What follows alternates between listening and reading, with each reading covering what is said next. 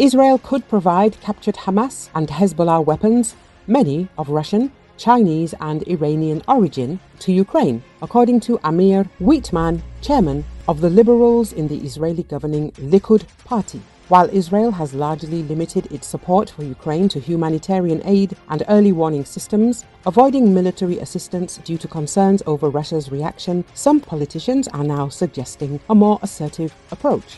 Israel doesn't need them that much. Shipping some to Ukraine would be a good idea, and we could probably do this soon, Weitmann told Euromaidan Press in an interview. He emphasized that Ukraine and Israel face a common adversary, a coalition including Russia, China, North Korea, and Iran, along with their proxies. Russia needs to be punished and finished. We need to show Putin's regime that aggression bears a price. The West has a collective responsibility to support Ukraine and Israel against these enemies, he said. While the Israeli government remains cautious about deeper Ukraine involvement, fearing increased Russian support for Israel's enemies, Weitmann argues for a stronger stance.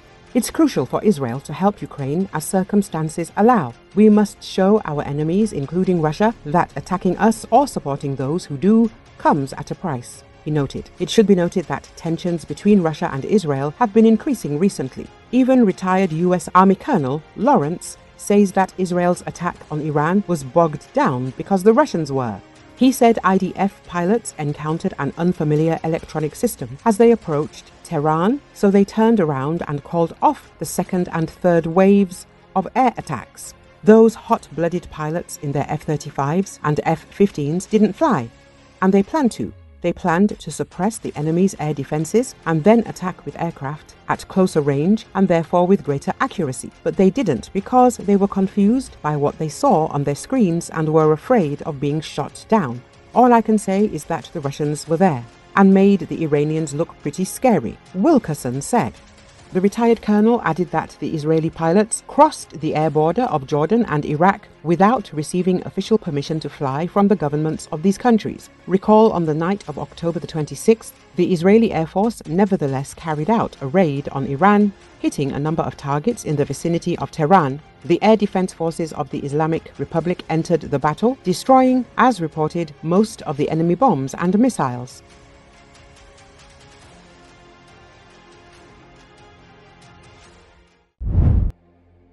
The recurrent storms in eastern Spain that led to massive flooding last week and killed at least 217 people, mostly near Valencia, dumped rain on Barcelona on Monday. At the city's airport heavy rain lashed planes on the tarmac and a terminal roof sprang a leak. Spanish Transport Minister Oscar Puente said that the rains had forced air traffic controllers to change the course of 15 flights operating at the airport, located on the southern flank of the city.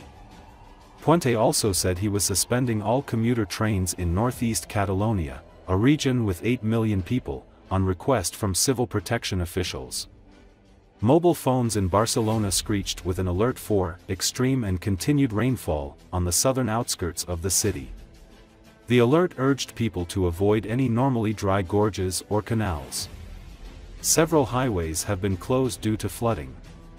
Classes were cancelled in Tarragona, a city in southern Catalonia about halfway between Barcelona and Valencia, after a red alert for rains was issued. Terminal 1 de l'aeroport del Prat.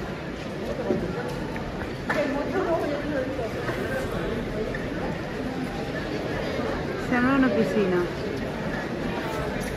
Està locura, eh?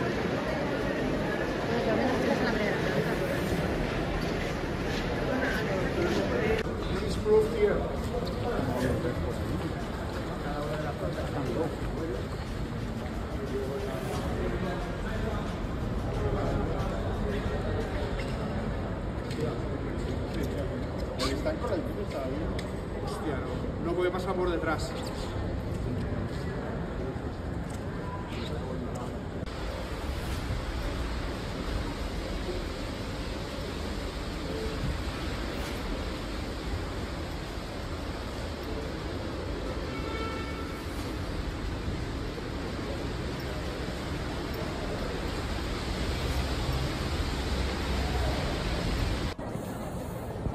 hvor meget vand, der ligger derude.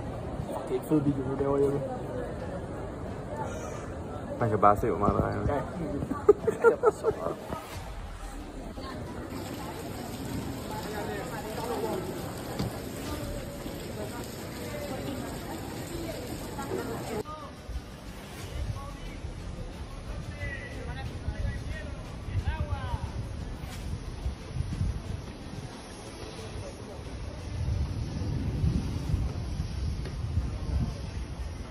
pero la lluvia ya es como...